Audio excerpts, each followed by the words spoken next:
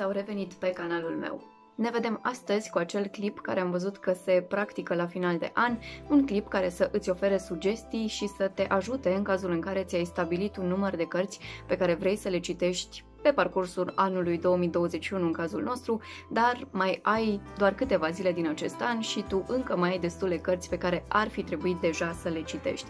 Eu am acum aici lângă mine 12 titluri pe care să vi le propun, cărți despre care v-am vorbit deja pe canal, cărți despre care nu v-am vorbit, um, cărți care mi-au plăcut și care nu mi-au plăcut, dar sunt totuși cărți care se parcurg ușor, au povești, unele dintre ele destul de atractive și veți vedea sunt genuri diferite, așa că, zic eu, veți găsi câte o idee potrivită pentru fiecare dintre voi. Prima carte despre care vă voi vorbi este de fapt o carte pe care am uitat să o includ în wrap-up-ul lunii noiembrie, în clipul de săptămâna trecută, veți găsi linkul jos în descriere spre el dacă nu l-ați văzut deja.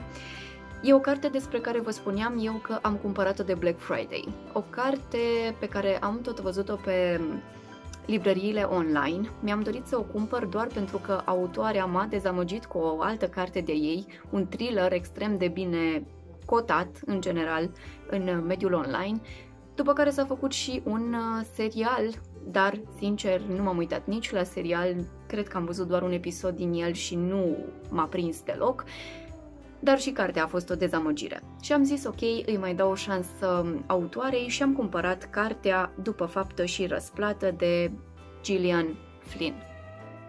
Vă spuneam eu în clipul acela cu ce mi-am cumpărat de Black Friday, că m-a surprins numărul de pagini al acestei cărți, pentru că nu am știut atunci când am pus-o în coș că e vorba de fapt despre o novelă.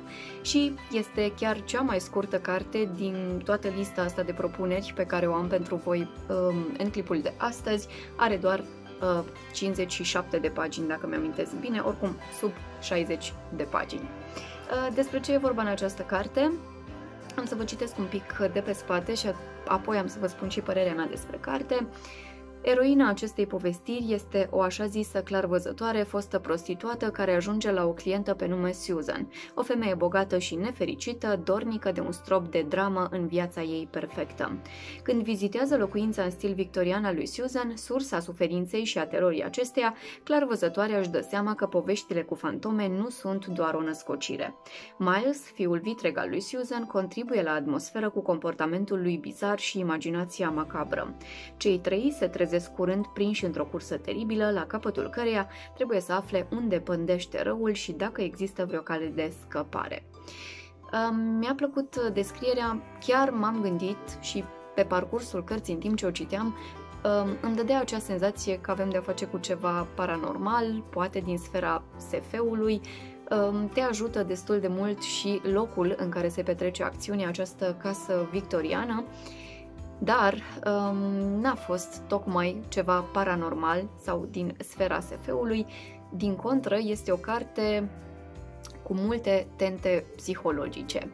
Se joacă foarte interesant cu mintea ta în cele nici 60 de pagini și sincer mi-aș fi dorit ca această carte să fi fost un roman în adevăratul sens al cuvântului și să păstreze cumva acel mister care persistă pe parcursul celor 60 de pagini. Uh, se joacă cu mintea ta autoarea foarte bine în această carte, clar mi-a plăcut mult mai mult decât Obiecte ascuțite, cartea de care vă spuneam că m-a dezamăgit. Uh, vă recomand, i-am acordat pe Goodreads 4 stele din 5, spuneam eu acolo în uh, review-ul pe care l-am lăsat scris că i-aș fi dat chiar 4,5 pentru modul în care se joacă atât de bine cu mintea ta nu știi cine este vinovatul în toată povestea, mm, nu știi ce e cu acest fiu vitreg atât de misterios, uh, ba mai mult, această Susan vorbește în permanență despre un soț pe care l-ar avea, dar nu apare niciodată în carte fizic, și sunt mai multe mistere acolo, nu vei ști cine e personajul pozitiv, cine e cel negativ și ce se întâmplă cu personajul nostru principal, această așa zisă clar văzătoare. Dar vă recomand, eu am cumpărat-o cu vreo 10 lei atunci de, de Black Friday, oricum, dacă aveți ocazia, citiți-o, vă dați seama cât vă ia să citiți nici 60 de pagini în uh, acest stil al uh, celor de la 3, care oricum folosesc paragrafe extrem de spațiate. Cea de-a doua carte este o lectură despre care eu v-am vorbit pe la finalul anului 2020, cred. O carte care m-a dezamăgit. Mi-a plăcut mult titlul, mi-a plăcut ideea în sine a cărții, însă atunci când am pus mâna pe ea și am citit-o, nu a fost deloc ceea ce promitea să fie.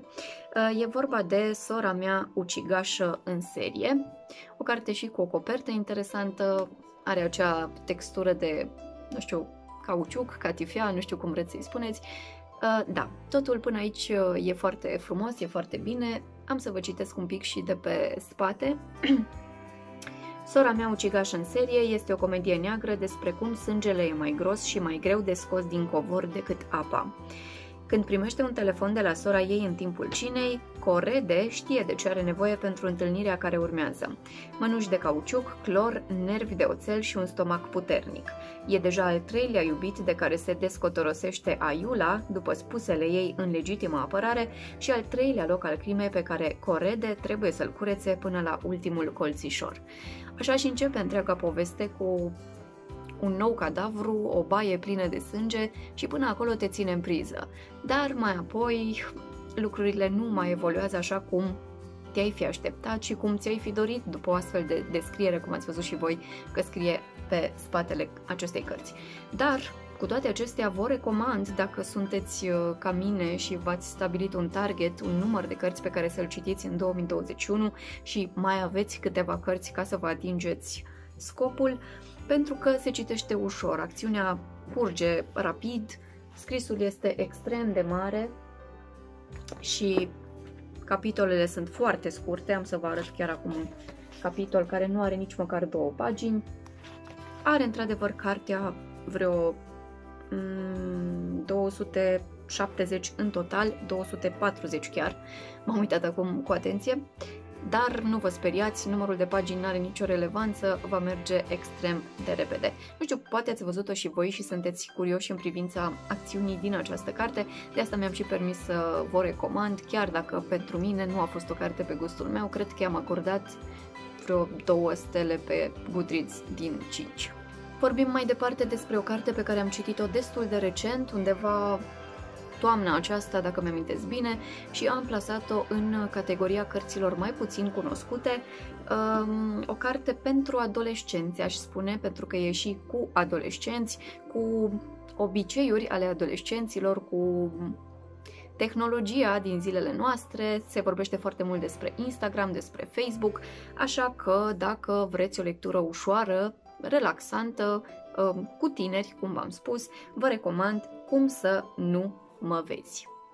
Um, am să vă las jos în descriere linkul spre clipul acela unde v-am vorbit eu ceva mai mult despre această carte. Este Europa pe lunii septembrie sau octombrie, nu mai rețin exact când anume am citit-o, dar e o carte care, din nou, deși pare destul de groasă, cred că aceasta are chiar mai multe decât cea anterioară. Da, are aproape 400, cred că e chiar cea mai groasă carte pe, pe care vă recomand în acest clip. Um, nu trebuie să vă sperie lucrul acesta, va merge extrem de repede lectura, avem de-a face cu o fată extrem de introvertită, mm, nu-i place să socializeze, singura prietenă pe care a avut-o s-a mutat din localitate și cumva se simte atât de singură încât își, își găsește refugiul în uh, Instagram ea cu Instagramul se înțelege foarte bine. Postează acolo tot felul de lucruri, creând un cu totul alt personaj. Acest personaj devine extrem de popular, e extrem de îndrăgit în liceul în care ea învață și cumva nu știu, acea singurătate pe care o resimțea, acea nevoie de socializare, dar totuși împiedicată cumva de naivitate, este învinsă de cu ajutorul Instagramului și prin această metodă își photoshopează tot felul de fotografii și deși ea se fotografiază, ceilalți nu vor avea cum să o recunoască sau vor avea. Veți afla dacă veți citi cartea, vă recomand așadar, nu trebuie să vă sperie numărul de pagini, va merge destul de rapid citirea ei. Continuăm cu o carte citită de mine tot anul trecut. Este de fapt uh, cartea cu care eu am deschis acest canal de YouTube, prima carte despre care v-am vorbit aici, o carte mică de această dată, lansată de cei de la RAO. Uh, are undeva la 220 uh, de pagini aproximativ, dar este acel format mic de buzunar. E vorba de uh, cartea care se numește Sunt aici. Am să vă las linkul uh, în descriere și spre acel clip, cum vă spuneam, primul clip în care eu vă vorbesc despre cărți pe acest uh, canal. Despre ce e vorba în această carte, n-am să vă mai citesc de pe spate să nu mai pierdem vremea pentru că e descrierea destul de lungă. Uh, o tânără are un accident și ajunge în comă la spital. La un moment dat, bineînțeles, pentru că ea nu-și mai revine, nu dă practic niciun semn că starea ei s-ar îmbunătăți, medicii și la un moment dat și familia decid că ar fi mai bine să o deconecteze de la aparate. În toată această schemă intervine însă un străin, un băiat care printr-o întâmplare, ajunge la această tânără în salon. Și între ei doi se stabilește așa o legătură foarte frumoasă, ea fiind, cum vă spuneam, inconștientă și veți vedea ce deznodământ va avea această carte. Și zic eu că e o carte interesantă, mie mi-a plăcut tare mult, lectura, vă dați seama, merge rapid, e formatul mic, paginile nu sunt foarte multe, capitolele sunt scurte și sunt convinsă că o veți considera o lectură relaxantă. Eu așa am resimțit-o. Acum mergem la o altă carte, o carte despre care nu v-am vorbit pe canal, cred că am citit-o acum ceva ani, um, dar sunt convinsă că o știți. Am ales-o o dată pentru care destul de puține pagini, tot cam așa ca cealaltă, 215, um, e tot de la RAO, tot formatul acela mic de buzunar, o carte pe care, așa cum vă spuneam, sunt convinsă că o știți și poate ați văzut și filmul. Eu nu am văzut filmul, știu că există, dar nu l-am văzut până acum. E vorba de Băiatul cu pijamale în dungi. Um, nu știu dacă are sens să vă mai vorbesc despre această carte, totul se învârte în jurul a doi copii, unul um, este prizonier într-un lagăr, celălalt este liber și pentru acele vremuri chiar are parte de multă libertate, nu vreau să mai intru în detalii, uh, doar că aici finalul nu mai este la fel de frumos, de optimist, de habar n-am. Uh, nu mai vreau să insist pe această carte, nu vreau să vă întristez, citiți-o dacă nu ați făcut-o până acum, măcar cât să bifați acel uh, număr de pe tibiarul vostru, dar oricum merită. Sunt convinsă că și aceasta vă va plăcea dacă ajungeți la ea. În continuare vorbim despre mm, două cărți, pentru că avem de a face cu o duologie. V-am mai spus eu că vă voi vorbi la un moment dat pe canal despre ele. Nu am ajuns până acum, dar iată că o facem astăzi. Uh, două cărți care nu se încadrează neapărat în uh, genul pe care eu îl prefer, nu avem de-a face cu crime, cu sânge, cu nimic de genul acesta, avem de-a face cu două cărți care se înscriu în sfera asta mm, romance. Uh, e vorba de primul volum Oamenii fericiți citesc și beau cafea și volumul 2 Viața e ușoară, nu-ți face griji. Da, știu că unii dintre voi m-ați mai întrebat când am pomenit de aceste cărți um, care e primul volum, care e al doilea. Știu că nu e foarte clar în uh, librăriile online, nu prea îți dai seama exact care e legătura dintre cele două. Uh, eu, sincer, nici nu am știut atunci când am comandat-o pe aceasta, când o căutam, de fapt, să o comand, uh, nu am știut care e și un volum 2 a trebuit să mă documentez un pic până să-mi dau seama care este volumul 2 și așa am, am ajuns și la el.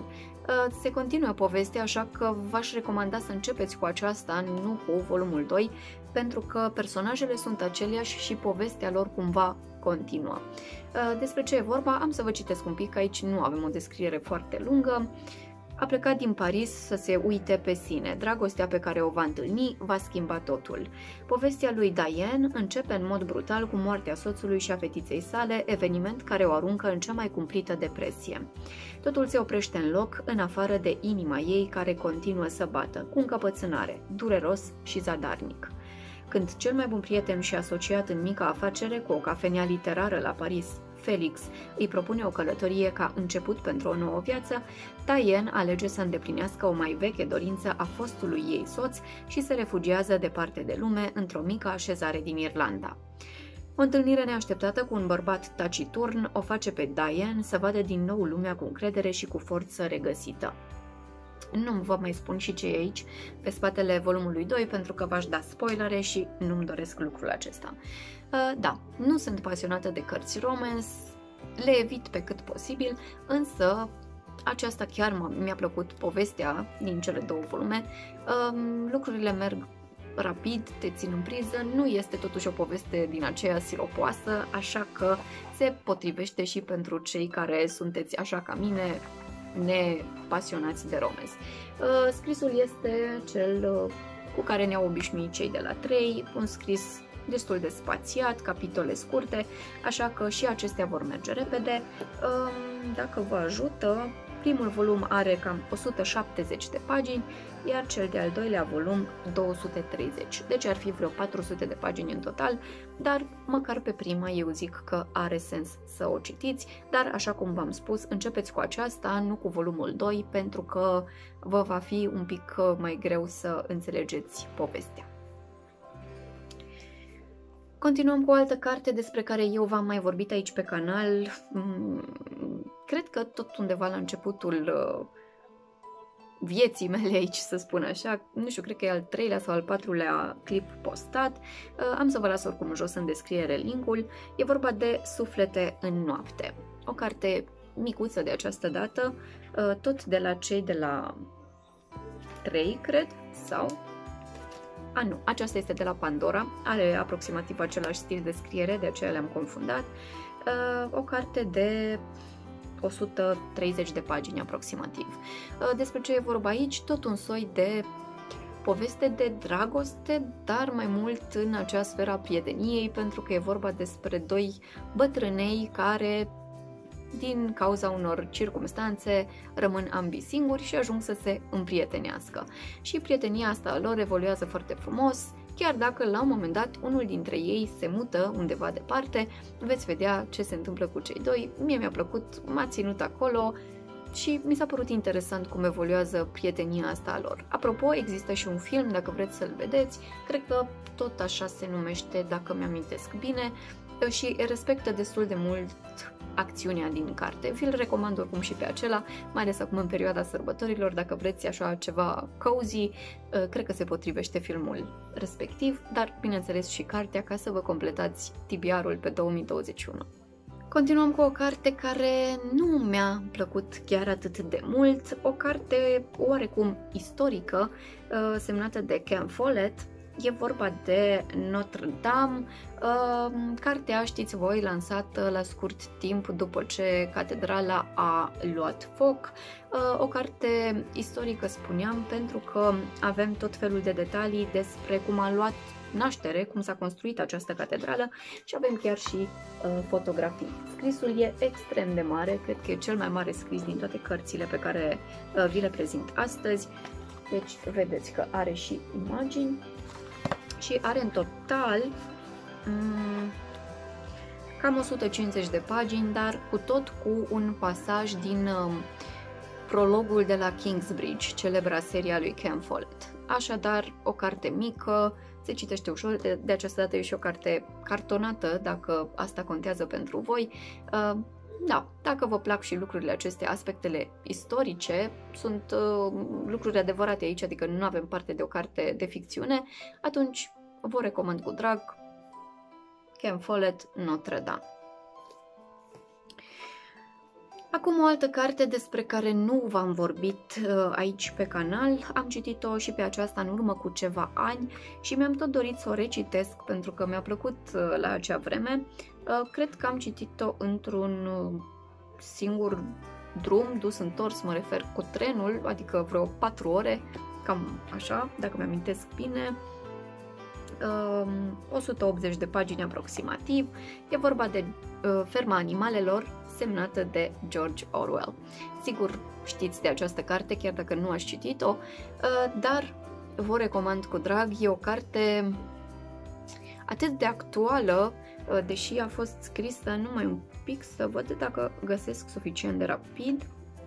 Pentru prima prima dată a fost publicată în 1945, dar e extrem de actuală și deși într-adevăr avem de-a face cu animale în această carte, nu degeaba se numește Ferma Animalelor, veți vedea ce uh, tipologie de oameni se regăsește de fapt în spatele fiecărei specii de animal în parte. Uh, cum se structurează societatea de acolo de la fermă, cine conduce, cine vrea să preia conducerea și așa mai departe. Deci o veți uh, găsi destul de actuală, zic eu, uh, dar oricum, cred că mulți dintre voi ați auzit deja cam despre ce e vorba în ea. E o carte cel puțin la fel de cunoscută ca 1984, o carte pe care eu nu am citit-o de la George Orwell, apropo. Continuăm cu o carte mică pentru copii, ar spune mulți, însă eu zic că poate fi citită la orice vârstă și cred că în funcție de vârsta la care vei citi această carte, o vei percepe diferit. De fiecare dată când o vei citi, zic eu, sunt din nou undeva până în 130 de pagini, Uh, e vorba de Micul Prinț. Eu am aici un exemplar cu ilustrațiile autorului. V-am vorbit despre ea, cred că prin vară, cred că atunci am citit-o. Are scrisul, evident, uh, spațiat. Din nou o carte de la Rao. Uh, avem aici și desenele, ilustrațiile autorului. Uh, nu are sens să vă mai spun despre ce e vorba, dar sunt convinsă că Micul Prinț va reprezenta pentru fiecare dintre cititori altceva și da, poate fi citită chiar și de copii, de ce nu? E o poveste interesantă, v-am spus, pentru orice vârstă. Iar ultima propunere de astăzi e o carte pe care eu am început să o citesc la un moment dat, acum ceva ani, nu am terminat-o, știu că mai sunt încă două cărți în această serie, pentru că e o serie, și mi se pare așa, aș spune eu, cea mai potrivită carte de citit în perioada Crăciunului. Nu știu de ce îmi dă acea senzație de copilărie cumva. Uh, e o carte destul de groasă, să spun, pentru ce ne propunem noi aici, adică are undeva la 280 de pagini aproximativ, Uh, e vorba de un băiat numit Crăciun, primul uh, volum din seria Crăciun al lui Matt Haig, um, lansată la cei de la Nemira în colecția Nemi, fiind desigur o carte pentru copii, uh, dar din nou poate fi citită la orice vârstă, pentru că v-am spus, nu am citit-o până la final, dar atât cât am citit din ea, a reușit să mă ducă așa cumva în copilărie, când citeam cărți Uh, pentru copii, mai ales în uh, perioada Crăciunului. Uh, e o carte care are și ilustrații frumoase, numai un pic să găsesc una mai relevantă, dar are și pagini complet întunecate, nu am să vi le arăt pe acelea, da. Are începuturile de capitol, din nou frumoase, cu litere din acestea, ca în basmele pe care le citeam când eram mici desene. Avem chiar și uh, coperta interioară, e frumos uh, desenată. Da, uh, foarte frumoasă cartea. Dacă o aveți pe acasă, vă recomand, mai ales în această perioadă și să fie încă un uh, volum adăugat tibiarului vostru. Bineînțeles, dacă le aveți și pe următoarele două, cred că cea de-a doua carte se numește O fetiță pe nume Crăciun sau nu mi-am exact, uh, am să vă las oricum jos în, uh, în descriere un link uh, spre pachetul întreg dacă vreți să vi-l achiziționați, să vedeți despre ce e vorba. Și cam asta a fost pentru astăzi. Acestea au fost cele 12 volume pe care am zis că ar fi interesant să vi le recomand să vă completați tibiarul pe 2021. Noi ne vom revedea sâmbătă viitoare, dar până atunci lăsați-mi jos în comentarii uh, părerea voastră despre aceste cărți, dacă ați citit ceva de aici, cum vi s-a părut, dacă aveți și alte recomandări și, bineînțeles, dacă v-a atras ceva atenția. Ne revedem sâmbătă, numai bine!